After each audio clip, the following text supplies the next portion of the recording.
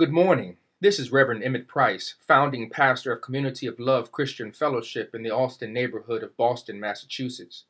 Let's take two minutes to pray together. God of light and love, we thank you for this morning.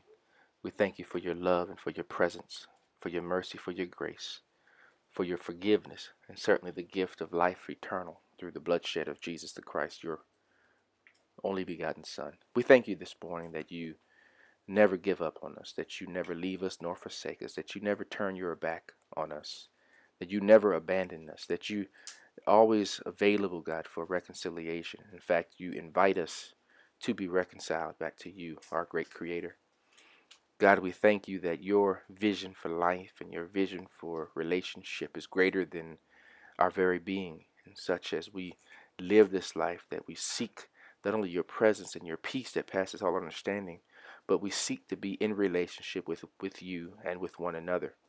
We thank you, God, that you have sent your begotten Son, Jesus the Christ, to teach us how to be human and to teach us how to be humane and to teach us how to be in loving uh, relationships.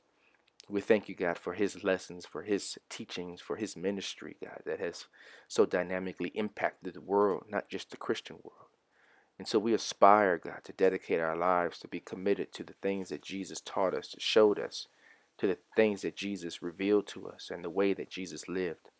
And so, God, we pray that you help us, that your spirit be with us, as you've always promised, and that in the midst of being healed and held in your loving bosom, that you would teach us your ways. In the name of Jesus, we pray with a spirit of gratitude. Amen.